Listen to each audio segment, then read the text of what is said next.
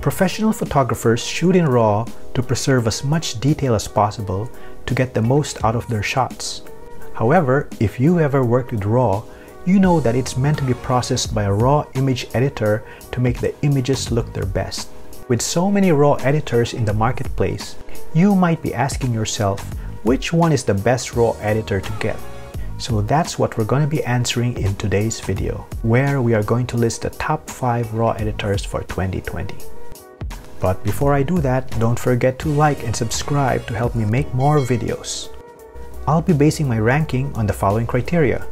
The quality of the raw processing, ease of use, essential features, and price paid. I'll be editing the same set of photos taken with different cameras and comparing the results so you can get a sense of the real-world effectiveness of the products. So let's get right into it. At number 5 on this list is Pixelmator Pro, so let me talk about the positives. First is the price. It's great value at only 25 US dollars. It has an elegant and intuitive interface, and its performance is fast and responsive. It has useful features like selective color adjustment, which I can use to enhance the orange of the sky or desaturate the grass in this image. How about the negatives? What's keeping Pixelmator Pro at the lower end of the list? The main thing is the adjustment sliders are not as effective as its competitors. As you can see here, the shadow slider doesn't only brighten the shadows like it's supposed to, but also brightens the lighter areas like the sky. This means that the quality of the adjustments are less than ideal. You can see this behavior in other photos as well. Also, I've noticed it struggles with really dark shadows. As you can see here, it doesn't go far enough to properly expose the image. When it comes to the highlight slider, it also has some issues. Notice as I try to reduce the highlights in the bright sky, it loses contrast and definition, which should not be the behavior of this tool. Finally, Pixelmator Pro lacks essential RAW editing tools, which users have been clamoring for for quite a while. For example, it doesn't have a clarity adjustment, which I could use to enhance the midtone contrast and make an image pop. In this image, I would want to enhance the detail in the clouds and the rock formation, but I don't have the tools to do that with. Also, it's missing noise reduction and lens correction, which is available in other editors on this list. At number 4 is Apple Photos. So what do I like about Apple Photos? Just like Pixelmator Pro, Photos has an extremely responsive UI with a comprehensive toolset. As you well know, Photos is also free because it comes with OS X.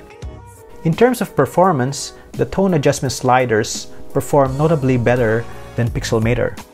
For example, you can see the shadow slider targets the dark areas more accurately than Pixelmator Pro. It also does a better job of properly exposing dark shadows, as you can see here. Highlight sliders perform better than Pixelmator Lowering the highlight slider reveals more detail in the sky, as should be the case. I like that it also has a definition slider, which works similar to but is not as effective as a clarity slider. Just like Pixelmator, it has selective color adjustment, which I can use to enhance the orange in the sky or desaturate the grass in this image. Let's compare the editing results of Apple Photos with Pixelmator Pro.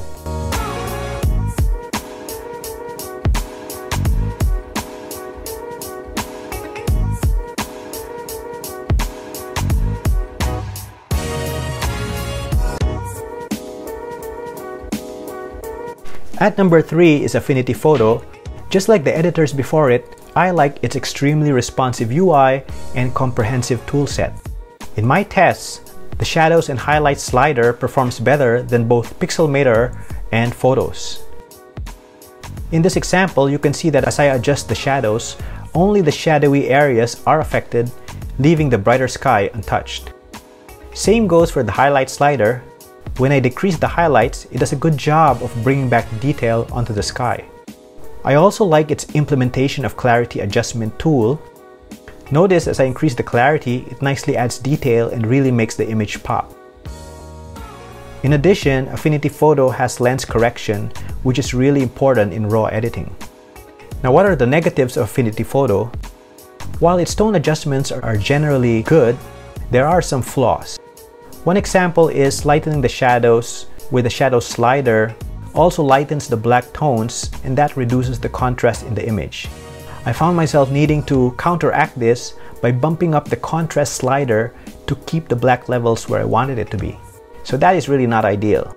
Also, in its raw editing interface, it doesn't include selective color adjustment, but you do have it by clicking develop to use HSL adjustment layers. But that's a lot of extra steps to do a simple task. In addition, I've mentioned before that Affinity's HSL adjustment doesn't work as intuitively as other photo editors. Affinity Photo's noise reduction though is one of the best implementations, but again, it's not included in this raw editing interface, and again, you need uh, some extra steps uh, just to reduce noise. In addition, Affinity Photo has a generally more complicated UI than the other editors on this list. So some examples are you have to click a radio button just to do a shadows and highlights adjustment. And then there's no button to compare the original to the edited version, where every other RAW editor seems to have one. So let's compare the editing results of Affinity Photo with photos.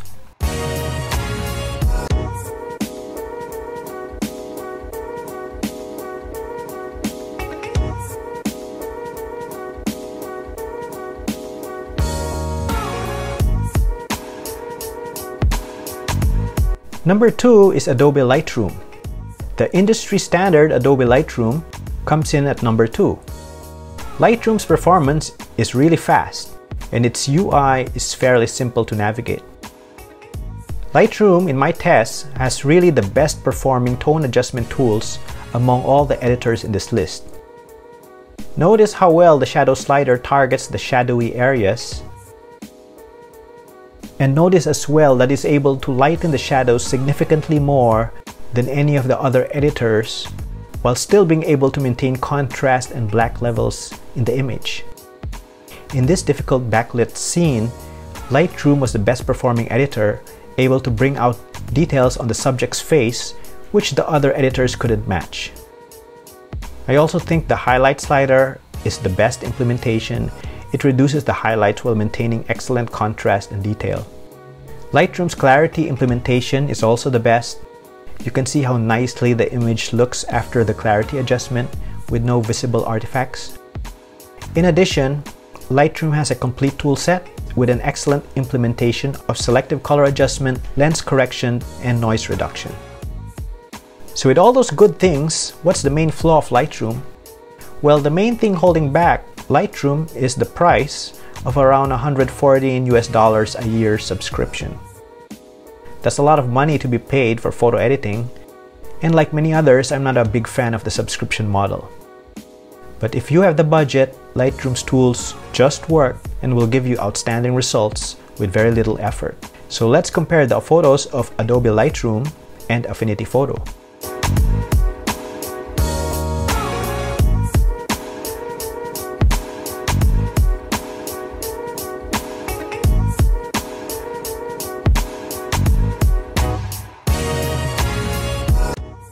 So that brings us to the number one RAW editor for 2020. So what's the number one RAW editor? The number one RAW editor is Luminar. Luminar's interface is very well designed and really easy to use. Its price is around 100 US dollars, which you get to own forever. While I don't believe Luminar's adjustment tools perform as well as Lightroom's, it's awfully close. The shadows and highlight slider is able to target effectively while maintaining excellent black levels and contrast. Luminar also has more raw editing features compared to Lightroom. It has selective color adjustment, check. Lens correction, check. It has excellent AI tools like AI Accent and AI Structure, which uses the power of machine learning to make automatic adjustments to a photo, and they do really work well. If you're into portraits, Luminar has an excellent AI tool for that, here I'm going to add contrast to the eyes and add some light to the face. You can see how easily this job is done with Luminar's interface. In addition, Luminar supports adjustment layers, something Lightroom doesn't even have. So what about the negatives? Well, as I've mentioned, Luminar doesn't work as well as Lightroom. For example, in this difficult backlit image, you can see that Lightroom nicely lightened the face with its shadow tool. Luminar, on the other hand, couldn't do the same thing. I also find its noise reduction is less effective than its competitors. Finally, Luminar's performance was the most sluggish among all the editors on this list. Not sure if it's because of the AI algorithms, but it would take a second or two on my old MacBook Pro for certain adjustments to take effect. Bottom line, Luminar's comprehensive feature set, excellent results on par with Lightroom, coupled with its non-subscription price, is a significant better deal in my mind than Lightroom's offer. So let's compare Luminar's editing results with Lightroom's.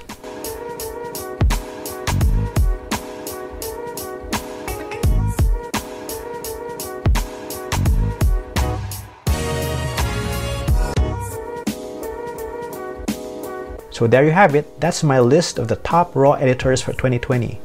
Do you agree with my selections or disagree? Do let me know in the comments. I love to hear from you.